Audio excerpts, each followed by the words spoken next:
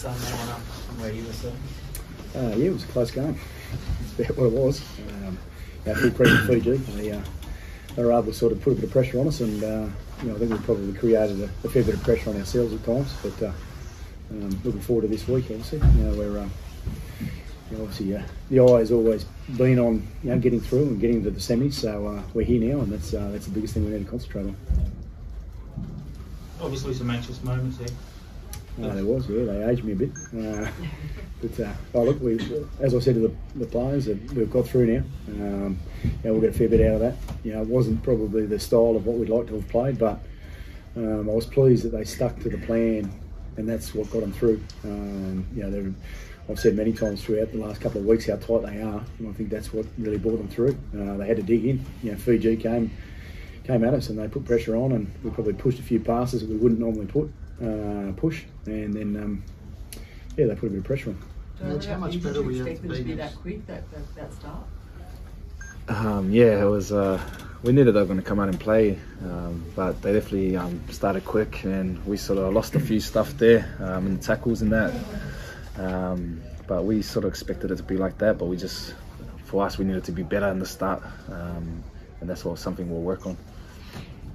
Nate, how much better we have to be this week? Uh, I'll tell you next week, really. You know, it's a, you know, we need to be better than uh, in areas of our game. You know, you can obviously see that. Uh, I think the start, obviously, um, you know, they jumped a little bit at the start, and we put a bit of pressure on ourselves. And uh, yeah, you can't do that. To, obviously, the, the teams that we're playing. Joey, how much did the conditions um, were they a factor? Um, nah, they were enough. I don't really think about it myself. I'm not too sure about other boys, but um, it's going to be like that over here, especially in the next few weeks. Uh, so we can't really control that. It's just controlling our footy and um, the, the, style that we want to play um, in this Kiwis jersey. Uh, so yeah, there's a few things there that we want to work on. Um, but yeah, we'll be ready for next week. What were you guys saying when you were obviously behind the scoreboard and time was getting away?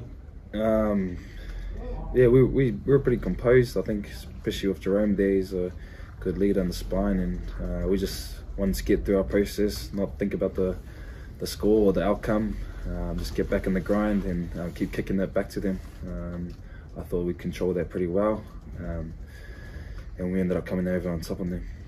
Joe, you know a few of those blokes well, James Tedesco, Tyrone Mitchell. What are your thoughts on going up against them? Yeah, I'm excited. Um, these are the games you look forward to as a player, uh, playing against some of the best. Um, excited to play some of them, but I'm excited to see what we can do as a team. Um, yeah, we're focused on ourselves. Um, we'll be ready. Um, but yeah, there's a few things that we want to work on. Um, but yeah, we'll be more focused on ourselves. There's that left side of the Australian team, Latrell and Carlson, tearing teams apart.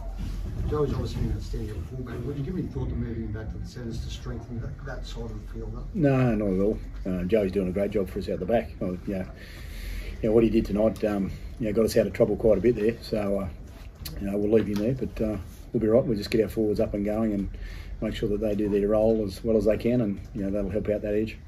How much, how, how much did missing Jared tonight play a factor in? Oh, when you've got players like that, you know, of that quality sitting on the sideline, it, it does play a part. Um, Jared's been very strong in the background though, just getting around the place. But you know, it's all about you know getting your, your most experienced players out there as well. So but uh, we'll be right. We've got a few of them coming back this week. Does Jared definitely come back here? Uh, he's. We'll see how he's travelling through the week. Yeah, we'll have to see see from that one. About Moses, Yeah, he's ready to go too. Yep. That's huge. We've pretty well got a full complement coming back next week. I've just got to check on Jared. Michael, can you sort of quantify or describe the amount of improvement that is necessary in the next week? Uh, we'll improve. I mean, one thing about the group, they're pretty strong on on how they want to go about things, and they had a good discussion just then about uh, you know what we did tonight. Uh, we'll take that into this week. You know, there's areas of our game which you know we, we can't give away cheap cheap loose ball or errors or penalties. You know, I thought in the, the start of the game we gave away a couple of penalties there, and the pressure came on, and you know we just didn't handle that as well as what um, we have in the past, which you know they're good lessons for us leading into next week. So I know you say you want to focus on yourself, but you talk about James a little bit. No. Yeah, um, James is obviously a great player. I've played with him for a few years now, and um, he's got that fullback position at the Roosters. So um, yeah, whenever I tend to slide in there, he tends to help me out a bit, and he's someone I love to learn learn from. But yeah, it'll be a bit different. Uh, he'll be on the opposite side next week, and um, he's a good mate. But um, yeah, I want to do what's best um, for our team, and yeah, I'll, I'll be um, competing against him on Friday night. How much of what you do as a fullback is down to what you've learned from training with him, playing alongside him? Yeah, I think there's a few things. Uh, I mean, he's he's taught me a lot there. Him and also um, Robbo. Um, but I mean, some of the stuff I, I tend to play in different positions and I play my own style. So um, yeah, definitely helped me out though. He's definitely helped me out a lot. Joey, do you think James Tedesco is the best player in the world right now? Um, yeah, I think he's pretty good, and he's um, he's he has been for a while. So.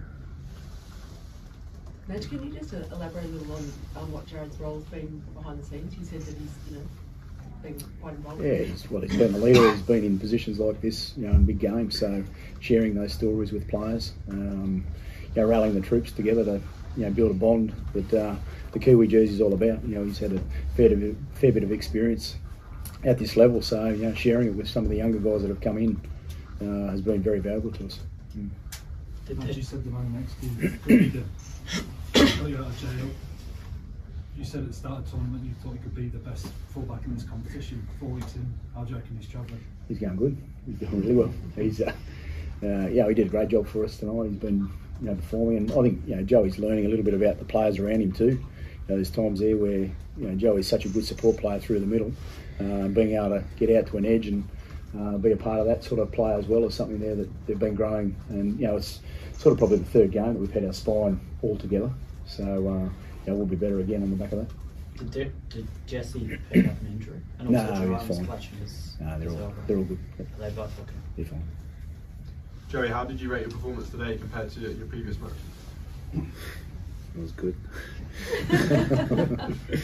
no, it was alright. It was, there are a few things I want to work on as a player, but I'm just focused on the team. Um, so yeah, I'm not too worried about individual performances. What was going through your head during that captain's challenge? Just hoping that came off. yeah, I was not too sure. I sort of felt a strip, but um, there was only a little bit of time left, I think, and why not have a shot? So ended up um, working in our favour, and yeah, it really helped. Was it you pushing the case to, to go for the challenge, or were you? Yeah, I was screaming because I didn't want to be a knock on. You said you were excited about um, playing Australia next week. Why? It's, I suppose it's the opportunity to prove that you are the number one team. yeah, it's probably that. Just a good team, um, two good teams going at it. You know, two good countries, obviously, been playing for a long time now. So um, I think it's just that a lot of good players. Uh, so we want to test ourselves against the best, and um, yeah, we'll see how we go next week. Michael, I think it's the first World Cup since 2000 that Fiji aren't going to be in the semi, so they've had a good run and they're a, they're a good country and a good team, haven't they? Clearly they gave you more than a fright tonight. Yeah, they have. I mean, obviously, uh, you know, a lot was talked about this week from uh, the last World Cup. So, you know, all those sorts of things can play on people's minds. And, um, yeah, they came out and they performed. You know, they showed a lot of passion and uh, they put a lot of pressure on us. So, you know, full credit to, you know, where Fiji are going with their uh, rugby league, actually. You know, I spoke to their coaches about, you know, they're a young crew and no doubt they're going to uh, get a lot out of playing against teams like New Zealand. And, um, yeah, so they're one to watch. Joey Nathan Cleary and Dale said in this game as the underdogs this week. You guys are world number one. What do you what do you think about that? Yeah, I'm not too sure. I just, yeah, I, I know where we sit as a team, and um, that's all I need to worry about. I'm not worried about rankings or who's better team. I believe in um, this team that we got here, so I'm focused on um, us being um, good in the Kiwis jersey. Michael, everyone's been talking about how much you guys need to improve to beat Australia, but do you think conversely, sort of having this close match will, will benefit you in that game? oh, we'll get a fair bit out of you know being able to look back at that performance. But uh, yeah, it's up to us how we deal with that. Um, you know, we've said many times they're a pretty tight group, and they'll go through that. And you know, I've got a lot of players that especially in my squad that have played in sort of semis and grand finals. So, you know, the step up in game, that's what it's about, and that's what they want to play in. So, you know, they'll be looking forward to playing this week. How important was it to right the wrongs of five years ago?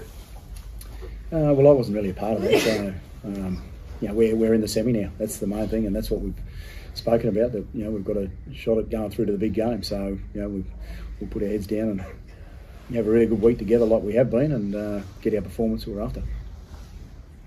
Is it, would you have liked to have played Australia in the final? Because I know a lot of fans, that's the final, a lot of fans would have wanted. Oh, look, yeah, it doesn't matter who we play to get to the final. That's the that's all part of you know what a tournament's all about. So look for us, we're, we're playing Australia next week.